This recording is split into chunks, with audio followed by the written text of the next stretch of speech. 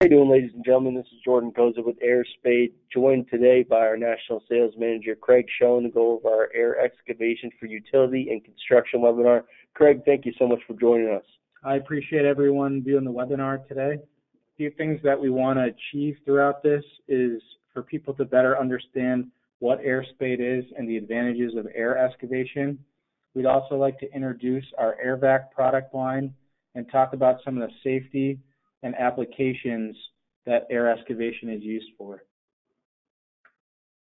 This is a great example of the underground landscape today.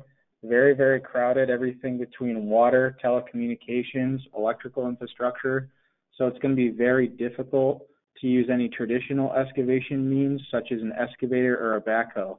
The air spade is going to be a great alternative to help minimize any damages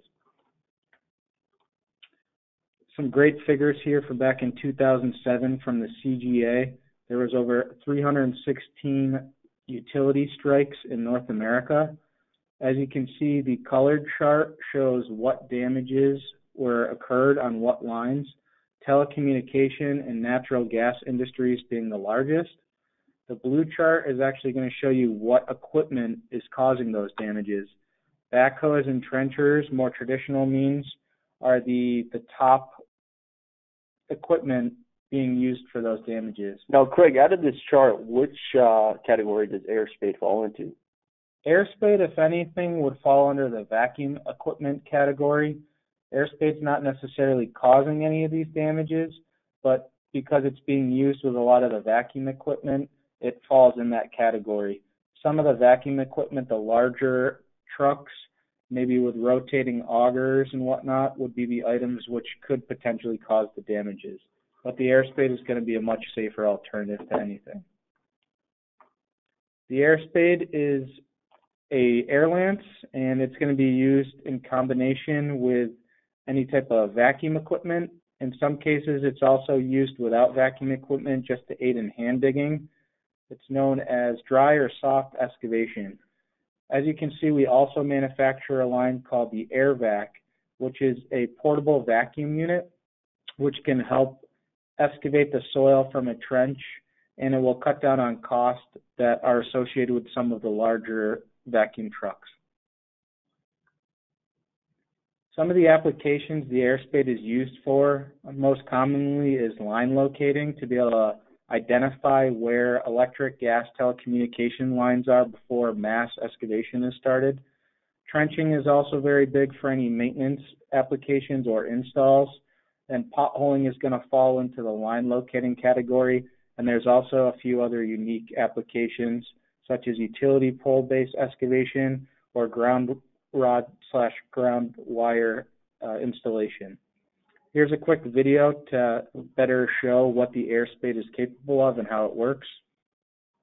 As you can see, it's not going to cause any damages to any of the infrastructure, and it's going to do an effective job of excavating the soil around it. Now, Craig, you can see in the video here when they're going down deeper, um, what do you suggest that the customers or uh, contractors would do as they're extending down deeper into the hole of the AirSpade? We make a variety of extensions ranging from two feet to five feet and we actually have multiple customers use multiple extensions for deeper depths. A lot of times in the vacuum truck industry, they're going to pair a larger air spade with the vacuum equipment when they're going 10, 12 feet deep. This is a nice breakdown of the specific applications I mentioned earlier, trenching, potholing, and also keyholing. As I mentioned, trenching is going to be for a larger scale excavation when maintenance or installation of any utility infrastructure is occurring. Potholing is typically going to be verifying any of the lines or the locates of the infrastructure before any larger excavation is occurring. Now, it seems here that people are using the air spade and the uh, air vac in tandem. Would you suggest that? Yes, it's actually going to speed up excavation quite a bit. Um, the AirVac is used a lot of times to help cut down on costs and get people the ability to use vacuum excavation. But in a lot of cases, in larger larger projects or larger companies, they're actually going to have large vacuum trucks that use the air spade along with the vacuum. So the foundation of the air spade is really an air compressor, We show a 185 cubic feet per minute CFM compressor here because it's the most common. So the compressor is going to generate the air which is needed for the air spade to work properly. Once that compressed air hits the soil, the soil is made up of soil and air particles. So that the air particles are going to move and the soil is going to be dislodged, helping excavate. No non-porous material such as metal, plastic, any sensitive cables, even tree roots will be affected. So it's a completely safe way to excavate, even safer than using a shovel as that can cause many damages. These are some of the features of our utility-specific air spade we've designed for the utility and construction industry.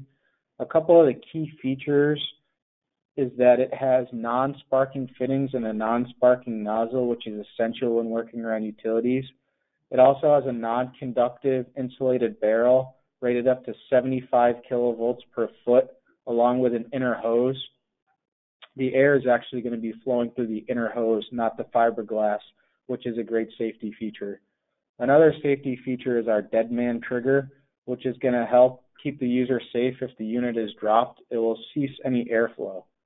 Our handle is actually very ergonomic as well, as it has multiple handles so you can actually use a traditional pistol grip or you can use it with a two-handed grip to be able to help with vertical style trenching. Now, Craig, can you go over uh, more in depth with the nozzles here? It looks like there's three different options.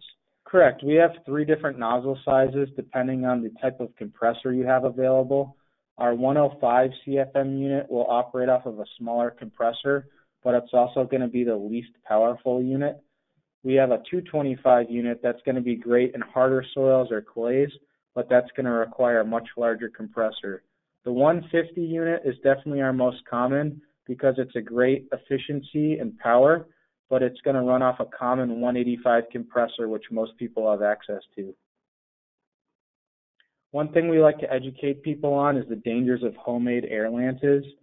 As I mentioned, the AirSpade 4000 features a dead man trigger, a traditional homemade air lance is only going to have a ball valve, which is going to be very dangerous as it's always left open and on. If that unit is dropped, it could cause some flailing of the unit, which could then cause damages or significant injuries.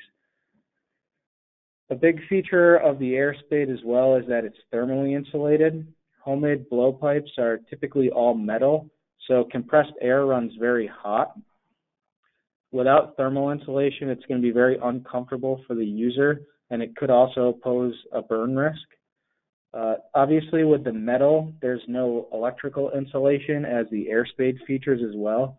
So all in all, our product is much more efficient.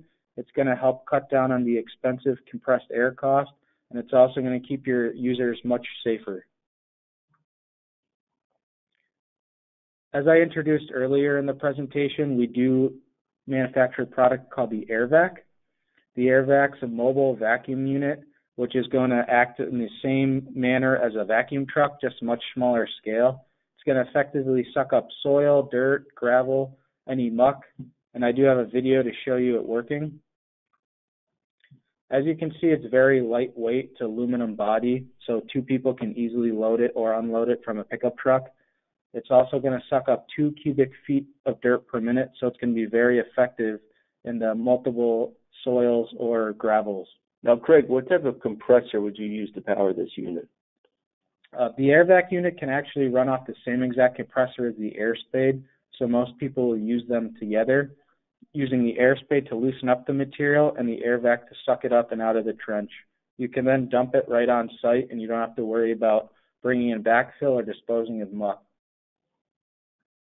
This is a great example, the chart on the top of how the unit works. It's called the Venturi principle. So there's air flowing through the vacuum, which causes a vacuum effect, and the air flows out. There's no moving parts or anything to maintain, so it's essentially a maintenance-free unit. This is a little chart here to show you what products and accessories we have available. As I said earlier, we do have extensions from two to five feet if you're looking to dig deeper. We also make various hoses and couplers. One really good accessory that many people use is our 45 degree angle adapter, which is going to help shoot air in multiple orientations depending on what you're excavating. All right. Well, we'd like to thank Craig for giving us that great webinar. Craig, thank you so much. And uh, ladies and gentlemen, here's Craig's information here if you want to reach out to him. Um, again, Craig, thank you for giving us the educational webinar, and uh, we'll let you take it from here and let the people know how they can reach out to you. Please feel free to reach out via email or phone. I'm always available to help support specific applications or projects. Look forward to hearing from everyone, and really thank you for your time today. Have a good one. Thank you, everybody.